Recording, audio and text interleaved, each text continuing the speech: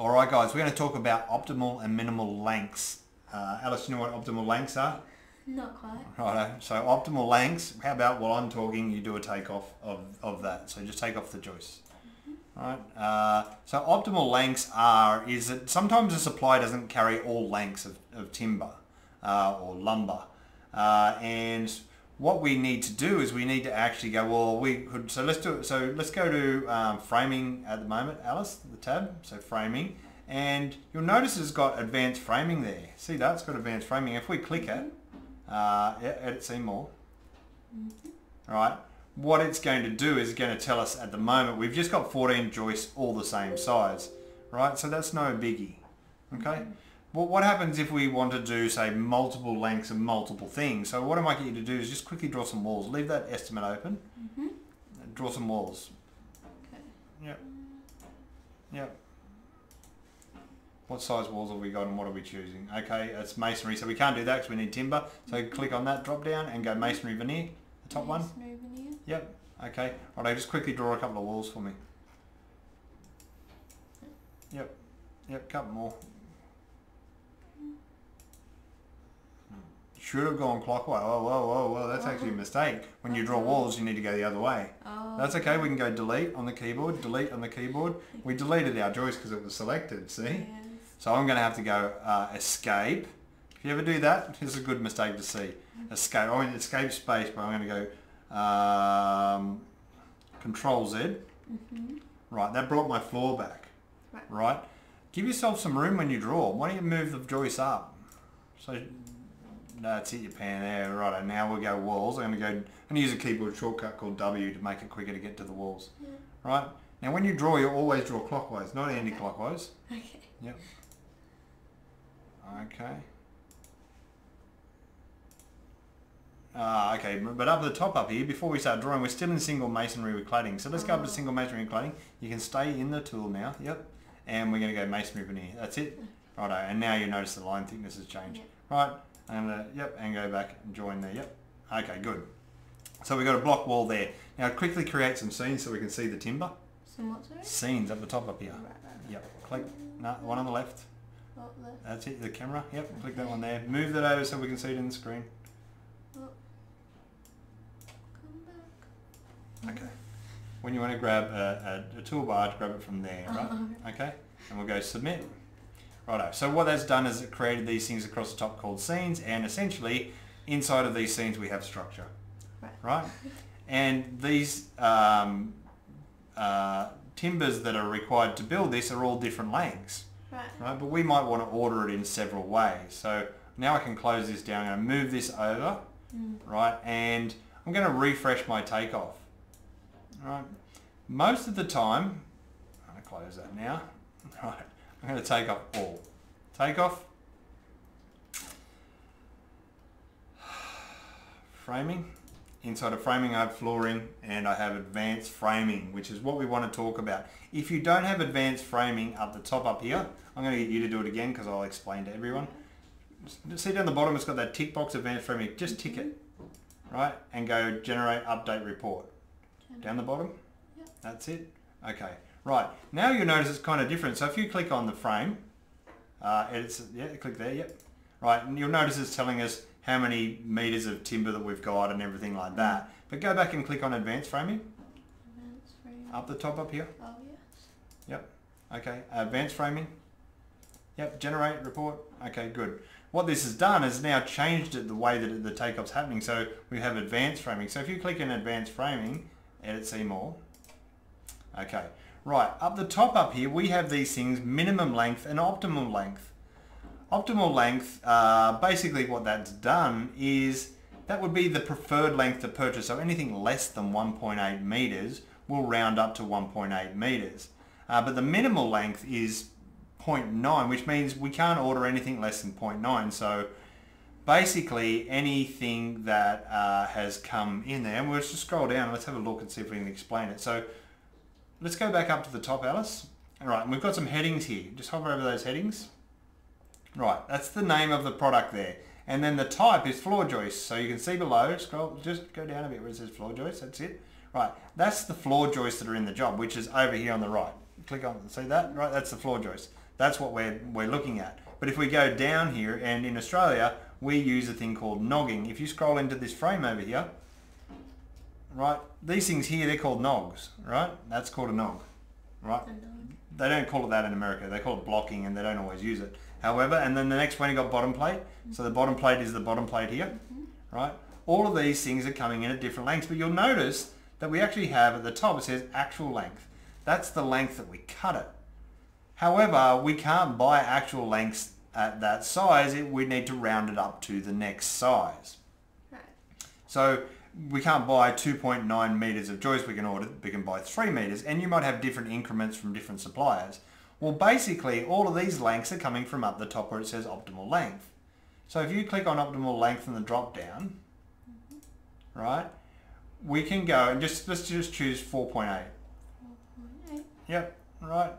Right, now if we scroll down, you've chosen, but you've got to click outside of it, okay? Click outside of it, so there we go, mm-hmm. right? Okay. Now what that's done is it said the optimal length, scroll back up to the top please. Optimal length for framing, so solid timber, you've got it as 4.8. And noggings, you've got 1.8. So let's just change the, the optimal length for noggings to 4.8 as well, right? And the wall blocking, change it to 4.8. All right, now let's scroll down and see if we can see any 4.8s. Right, notice here that we actually have one at 4.8, right?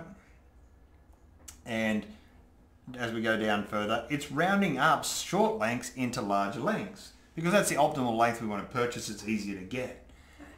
In this day and age with COVID, I know that you know, you know about COVID. But anyway, what it is, is it's harder to get timber, right? Right? So because it's harder to get timber, longer lengths are more expensive.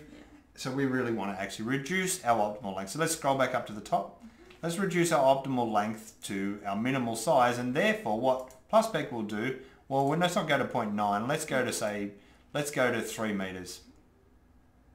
Right, okay, right, click outside of it. Okay, well, what are you doing, man? Oh, you're going to do all of them, are you? Yeah. Okay, righto. So if you can get three meters as your optimal length, it's going to, right now it's going to round all of our nogs up to three meters. You'll notice where it says one at three meters.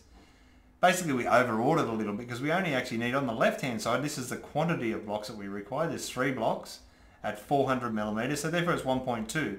So what it did is it rounded up to the nearest optimal length, which is three meters. So we've got a little bit of waste there, but you know what? That's the kind of stuff that it's good to see. So your minimal length as well. If you go minimal length, let's just go to minimal length there and just just click the cross next to it and get rid of it.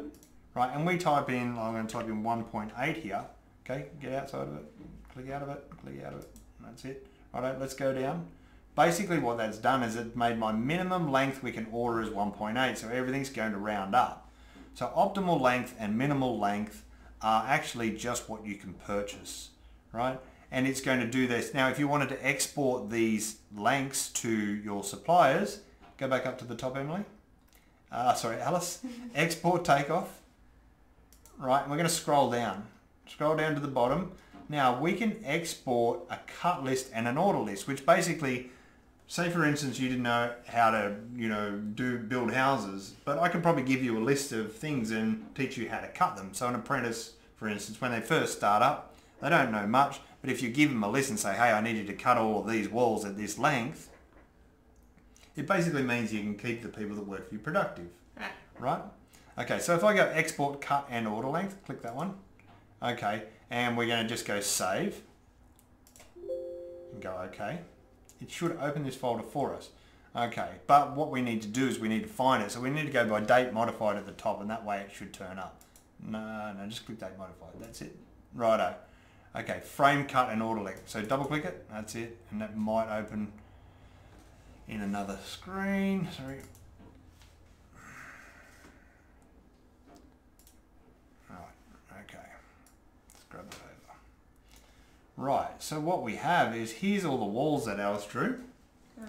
And to, to open this up so it's not all squashed, if we click up the top left hand corner here and we double click here, it basically opened everything up. Hmm. Right? So this is the cut length and it says see below on these noggings because basically we're going to cut our noggings out of our three meter length that we've ordered. So basically it concatenate or put all of the short lengths into longer lengths down the bottom. So we need six at three meters for all the see below, Right. right? But um, the nogging, we're going to cut it out of see below, but we're going to cut our bottom plates out of a 3.3, our top points out of a 3.3, and our common studs out of 2.7s. Basically what that means when the timber supplier turns up, he will deliver multiple lengths. And it's a really big mistake when you're working to actually uh, cut long lengths, a short lengths out of longer lengths because you might need a longer length to span further and the apprentice has gone and chopped them all out of the long lengths and you go, ah, you don't have long enough lengths, Yeah. right? Gone, Okay. wasted. So I'll just see if I can just give a one quick recap here. So don't save, I'm going to close this down here. If you're not sure guys, reduce the optimal length size and then you'll go, oh, but I really wanted to order that another size. And it'll make it really clear to you how to utilize these tools properly. Now, you'll also notice that at the moment, this is for solid timber, but LVLs and I-joists, which are basically engineered timber, you would probably order them in different lengths and you can order an LVL up to 13.2 meters, right? But if it's different and you can't order those lengths and you want to change these, so for instance, you might like to work in, work in 1.2 meter increments, what you can do is you can export your order lengths and basically I'm just going to quickly just put that on the desktop and go save, right? Uh, and date modifiers, frame order lengths, I'm going to open that up, the screen.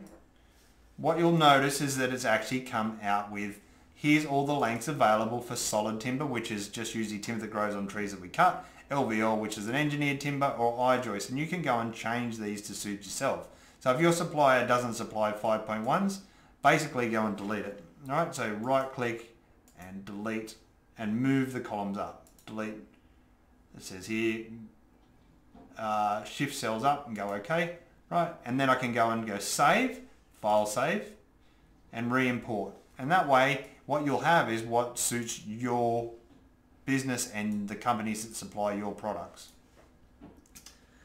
What do you reckon? Do you reckon you'd be able to do that one by yourself, Alice?